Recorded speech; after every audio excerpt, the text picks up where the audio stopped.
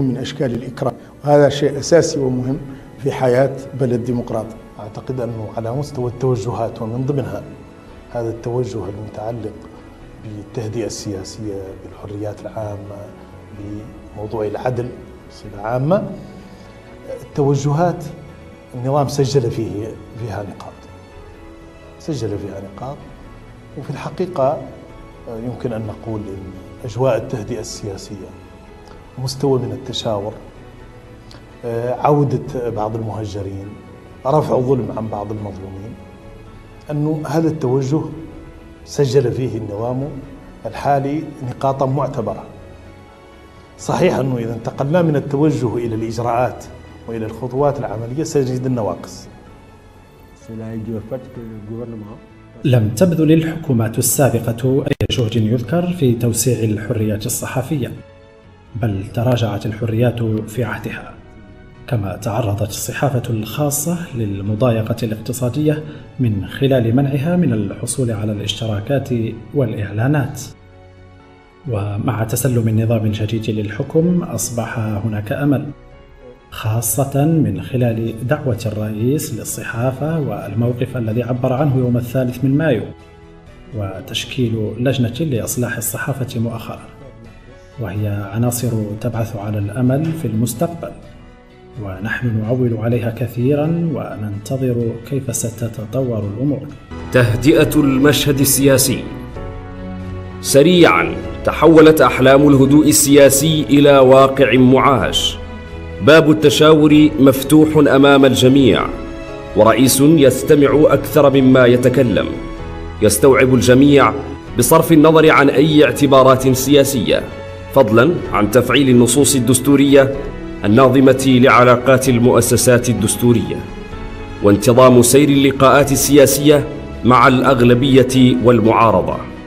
هذا رئيس يلتقي خصومه ومنافسيه ويسمع منهم فإذا كان الهم المشترك هو الوطن فلا مكان للاعتبارات الشخصيه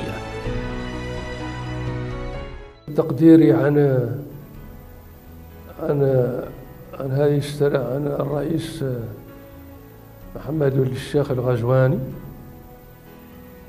أنه خاض منها برصيد سياسي مهم. قريش عن عنده أسباب أسباب ترجع ل رحابة الصدر. ولين الجانب اللي تبيج به. غير مولي فم فم رهان المواطنين بشكل واسع بشكل شبه إجماع. على أنهم معلقين عليه أمل. Alors d'une manière générale, l'autre aspect positif aussi. بشكل عام نشعر أن السلطة الحالية تريد قلب صفحة الإجراءات الأحادية. وهي تسعى من خلال التواصل مع المعارضة وإن كان ذلك بشكل فردي أن تخلق مناخا جديدا يتجاوز مرحلة المواجهة بين السلطة والمعارضة. فللمرة الأولى منذ فترة طويلة أصبح هناك تبادل للرسائل الإيجابية بين الطرفين دون أن يعني ذلك أننا قلبنا الصفحة بشكل نهائي. بل إن هناك إشارات أرسلتها السلطة واستقبلتها المعارضة معتبرة إياها إشارات إيجابية في انتظار ما سيأتي بعدها. والمعارضة هي من تبحث عن الحوار مع النظام منذ عشر سنوات والنظام يرفض الحوار معها أو ينظم حوارا كما يريد ومع الطرف الذي يريد. والرئيس الشيخ الغزواني تخلى عن ذلك المنهج الأحادي. وقد استقبل كل قادة المعارضة الممثلة في البرلمان بشكل فردي مع أنه ينبغي أن يوسع تلك اللقاءات لتشمل أحزابا غير ممثلة في البرلمان. إلى وقت قريب سابق نفس الحكم موريتانيا معسكرين معسكر معارض وشايف الجانب الأسود والجانب الفارغ من الكأس. وذا اللي يتعدى الحكومة كامل يسوى كان إيجابي مدفوعين في الأصبع وله مهم. وذا اللي مولي المعسكر الثاني هو المعسكر اللي يدير الحكم ويسير أمور البلد. وشايف مولي بين المعارضة لا مجموعة من المشوشين والناس اللي عندهم عمالة ولا ارتباطات بالخارج. الرئيس اطلق على أنه سيتعامل مع الموريتانيين كاملين وأنهم يعتبر على أنهم موريتانيين هل الموريتانيين كاملين وليست الموالين من المعارضة. هذا خطاب طلقه. ويعني ينقال يعني يقولوا واحدا يقال تلاقي يطبقوا ويقلبهم. هو بعد قطعا أنه نيتلي يدخل في أرض في التنفيذ تقدم شعور به انه اللي قالوا زعيم المعارضة أول مرة في تاريخنا بعد التالي. يعيط له ويقعد في زر الرئيس ويوقف الرئيس ويعدل خطابه ويقول له السيد زعيم المعارضة يسميه باسمه ويرحب به هذا كان أصلا زعيم المعارضة معناه أنه مجرم وضد البلد وضد المصالح. هذه هي الحالة الاعتيادية في نظام ديمقراطي جمهوري ان يعود الفرقاء السياسيين بين معارضة وأغلبية كلها عنده برامجه وكلها كلها يلعب دوره اللي اللي اللي دوره الدستوري. الأغلبية لها برامج انتخبت عليها وانتخب عليها رئيس الجمهورية وهي تنفذ برامجها. والمعارضة تلاحظ وتراقب وتنتقد طبعا وهي في دورها إذا قامت بهذا. يمكن أن نقول إن هذه السنة هي سنة انفتاح سنة تشاور سنة طمأنة سنة إضفاء نوع من الأخلاق ونوع من الهدوء لم تتعوده الساحة السياسية منذ زمن طويل. تعودنا في العشرية الماضية على الشد والجذب والقطيعة التامة. أنا والطيف السياسي الذي أمثله نضع آمالا عراضا في الرئيس رئيس الجمهورية السيد محمد الشيخ عندما جاء نظام رئيسه منطقه يختلف عن هذا على الأقل نسبيا. هناك توجه أخلاقي وهناك استعداد للقاء أطراف المعارضة المختلفة وهناك انفتاح عليها من خلال هذه اللقاءات. كان واضحا أيضا أن المعارضة في أغلبها كانت مستعدة للتجاوب إيجابا مع هذه التوجهات.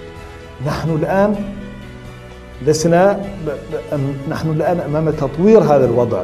من أن ننتقل من الطابع الشكلي ومن الطابع الأخلاقي العام ومن الانفتاح باللقاءات إلى أن يتحول إلى لقاءات سياسية إلى حوارات سياسية إلى مشاورات يترتب عليها شيء في حياة الناس. حينها فعلا سنكون كسبنا في السنة الأولى انفتاحا عاما وكسبنا في السنوات اللاحقة عليها تطورا سياسيا وحوارا سياسيا وتفاعلا سياسيا بين مختلف الأطراف. فخامة الرئيس في برنامجه الانتخابي كان له ثلاثة أهداف من أجل تهدئة وتطبيع المشهد السياسي. وطبعا هذا نابع من أنه عنده عنده تفكير لأن هذا ضرورة استراتيجية. الأهداف هما أولا إعادة لمؤسسة المعارضة الديمقراطية مكانتها. مكانتها القانونية والدستورية والتفاعل معها بصفة إيجابية واللقاء المنتظم مع زعيم المعارضة الديمقراطية. الهدف الثاني كان عن التشاور الدائم مع الأحزاب الممثلة في البرلمان حول القضايا ذات الأهمية الخاصة الاستراتيجية وتفعيل الهيئات المؤسسات الجمهورية قلنا عن هذا اللي خلق من التطبيق ومن التهدئة لم يكن مفاجئا بل كان مرسوما من قبل في برنامج فخامة الرئيس. ونحن كشباب استفدنا كثيرا من هذا الانفتاح وبدورنا أدينا لقاءات عدلنا لقاءات مع مختلف مختلف الفرقاء الشباب وناقشنا معهم جميع القضايا اللي تهمنا واللي نحن هم كشباب متوافقين متوافقين عليها. هذا كله تأسيا بالانفتاح اللي تبناه فخامة رئيس الجمهورية. بداية معقولة. هذا خمس العهدة خمس الفترة المأمورية. رسخ بعض التقاليد المهمة أكد بعض التوجهات المهمة وقعت فيه أخطاء وارتباكات واضحة جدا. إذا عززنا هذه التوجهات وهذه النوايا وهذه القرارات وراجعنا وصححنا هذه الأخطاء والارتباكات أعتقد أننا يمكن أن نكون أمام فترات قادمة أهم في إطار هذه المأمورية للرئيس الحالي اكتمال صورة التهدئة السياسية في موريتانيا أظن أنها ما قد حصلت سابقا والمؤشرات خارجة على ذلك. تعزيز الفصل بين السلطات.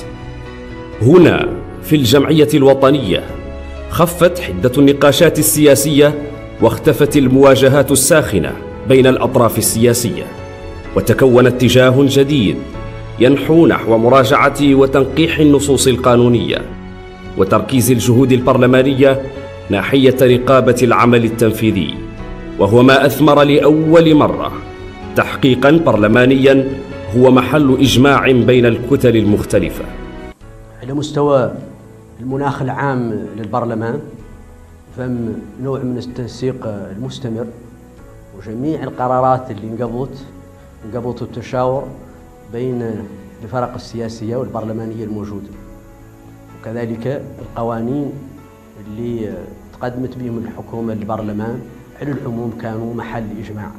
وهذا جديد بالنسبة للساحة السياسية. المناخ السياسي العام اللي فيه روح تشاور وروح تعاطي في المجال العام تأثر به العمل البرلماني والسلطة التشريعية بصفة خاصة من خلال التركيز على الجوانب الفنية في دراسة النصوص بدل من تأثيرات الاعتبارات السياسية في هذه المرحلة أول مرة البرلمان يقبض مسؤوليته ولا يجبر حد يوقف دونها قطعا ما ما ما, أن طالبين تعود السلطة التنفيذية هي اللي امرتنا بدنا نعدلوا لجان التحقيق. هذه من صلاحيات البرلمان. وعدلها وكانت لو كانت الأنظمة من ذيك الأنظمة اللي نعرفه تعيط النواب الأغلبية وتقول لهم صوتوا ضدها ولا تخلق. اذا خلات هذا الشان شأن برلماني ولا دخلت فيه السلطة التنفيذية وهذا قطعا مؤشر إيجابي وخاصة اللجنه اللي وفات عملها. وسلمته بدون أي خلق اصطدام بينها هي والسلطة التنفيذيه وعيطت الوزراء حالا في ذي الحكومة اللي هي واستوجبتهم وطالبت منهم المعلومات ولا عاد كبار من قد عاد الله هو دور البرلمان اللي يرتقون به. La commission d'enquête parlementaire لكن تشكيل هذه اللجنة مهم بحد ذاته ويستحق الإشادة خاصة أنه تم في أجواء إجماعية وتوافق بين جميع القوى السياسية الممثلة في البرلمان. وطوال فترة عملها وحتى تسليم تقريرها استمرت القوى السياسية في العمل بشكل توافقي وهي خطوة مهمة للغاية بالنسبة لنا.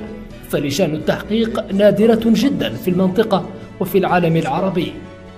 هذه تجربة تعتبر تقريبا هي الأولى من نوعها في بلدنا. ربما تعود هي الأولى من نوعها في منطقتنا. هي لجنة برلمانية. قائمة بالعمل الرقابي اللي منصوص عليه في الدستور واللي حقيقة ما قد تخرج بشكل فعلي. الانحياز للطبقات الهشة والمغبونة. ولأن حجم التوقعات من العهد الجديد كان كبيرا فقد كانت الإنجازات سريعة التحقق. مساعدات مالية منتظمة تشمل سبعين ألف أسرة وفرص عمل بالآلاف. وأكثر من 120 مدرسة فضلا عن مجانية الاستطباب لصالح الفقراء ومجانية نقل المرضى من المستشفيات الجهوية إلى نواكشوط والتكفل بضحايا حوادث السير وتخفيض التكلفة الجزافية للولادة بنسبة 55% مفوضية تآزر يعني تعكف الآن على يعني تنفيذ برامج اقتصادية واجتماعية غايتها الرفع من مستوى تلك الفئات سواء كانت الفئات التي كانت ضحية للاسترقاق أو الفئات التي بفعل التحولات يعني امتاز وضعها بالهشاشة وامتاز بالفقر وامتاز بالتهميش. وبالتالي كل هذه الفئات اليوم هي مستهدفة من قبل مفوضية تآزر حتى يعني يرفع من مستواها وحتى تلحق بالفئات الأخرى. الجانب الاجتماعي تم تحقيق أكبر وعد انتخابي وبرنامج تعهداتي وهو إنشاء المندوبية العامة للتضامن الوطني تآزر وقامت هذه الوكالة حتى الآن في إطار دعم دعم المواطنين في مواجهة وباء كوفيد 19 إنشاء مندوبية التآزر. والمهام اللي مكلفة بها هذا دليل اللي واضح على الاهتمام بالمجتمع الضعيف ومناطق الهشاشة في الوطن كامل. ولذلك الأساس برنامجه كان طموح وقطعا إحنا كبلديات واكبوه وتجسد أساسا على على كل حال السنة نعرف على جات الجائحه ما كان مجمع معها. ولولا أن نفهم هذه المندوبية وفهم هذه الرؤية تعود الأمور ما كانت كانت كانت أكثر صعوبة من لقد كان رئيس الجمهورية واعيا تماما لأهمية الشباب الذي يمثل ما بين 55 و 75% من شعبنا حسب إحصائيات المعاهد المتخصصة. هذا الشباب معرض لمشكلات من قبيل التطرف أو العنف وغيرها من آفات القرن الحادي والعشرين ولذلك وضع الشباب في قلب أولوياته من خلال التعامل مع قضايا من قبيل التشغيل والمشاركة والمواطنية والرياضة وكذلك بطبيعة الحال الترفيه.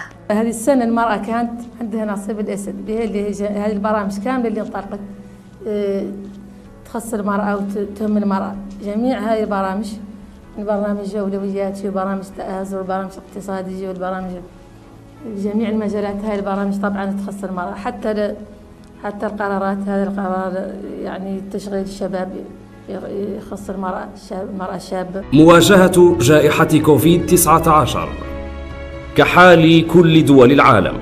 لم تكن موريتانيا في منأى عن موجة فيروس كورونا. الذي انتشر في كل بقاع العالم. لكن حالة الإجماع السياسي مهدت الطريق أمام هبة وطنية لمواجهة عدو لا يرى بالعين المجردة توجيهات رئيس الجمهورية كانت واضحة فهو لا يريد أن يرى موريتانيا في موقف لا تحسد عليه.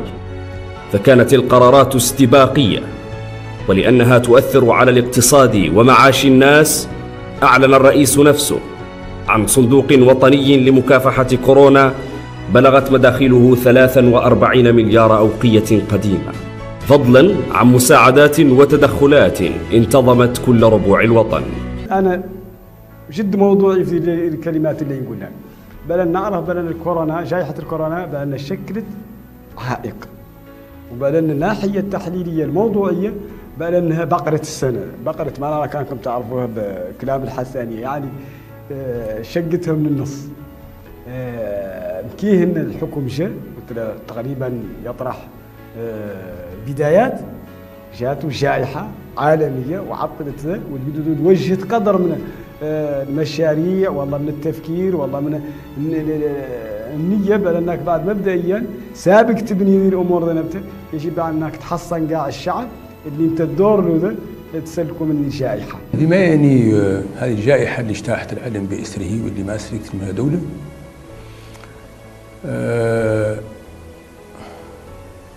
الإجراءات اللي قضت استباقية والإجراءات المصاحبة المصاحبة اللي اتخذت الدولة كان لها الأثر الكبير بالحد من من من حجم الناس المصاب بالنسبة للسكان. وكان الأضرم الكبير بالحد من الوهيات من الناس المصابة. حد شاف وضعيتنا الحالية يعتبر أن آه، الحكومة بذلت مجهود كبير.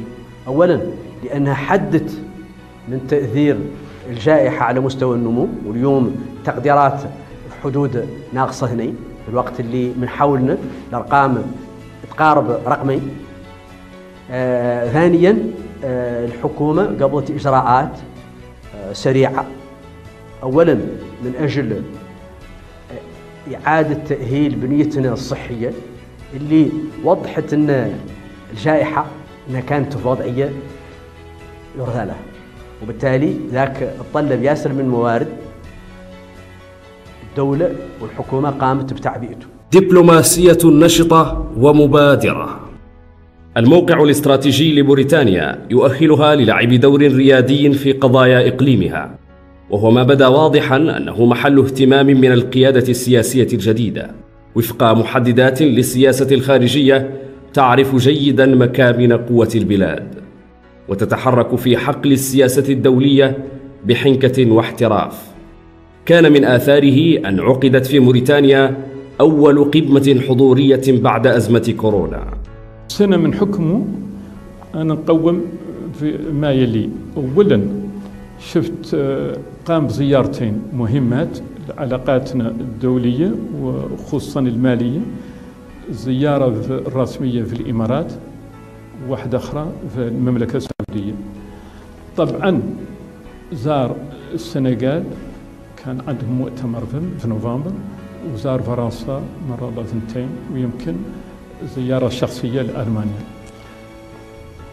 هذا مهم لعلاقات موريتانيا مع هذه الدول. لكن التقويم الثاني هو دور الرئيس كرئيس G5 هذا groupement G5 للمنظمة اللي الحمد لله مركزها موجود في نواكشوط. نحتسب أنه أنه إيجابي. اولا ظهر شخصيه ترحب بالناس. شخصيه مودريت للسنه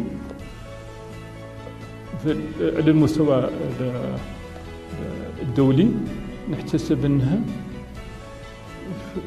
نظري إنها ناجحة. رغم التحديات المتوقعة والطارئة خلال العام الماضي استطاع النظام الجديد وضع أسس حكامة جديدة سياسيا وحقوقيا واقتصاديا. ما يرجح أن موريتانيا على بوابة مرحلة جديدة من الإصلاحات والإنجازات سيراها الموريتانيون تنافسا سياسيا اخلاقيا ومحاربة قوية للفساد وانحيازا واضحا للمغبونين وتثمينا للاقتصاد المحلي وقياما للمدرسة الجمهورية. كل ذلك يبعث على الأمل في غد مشرق.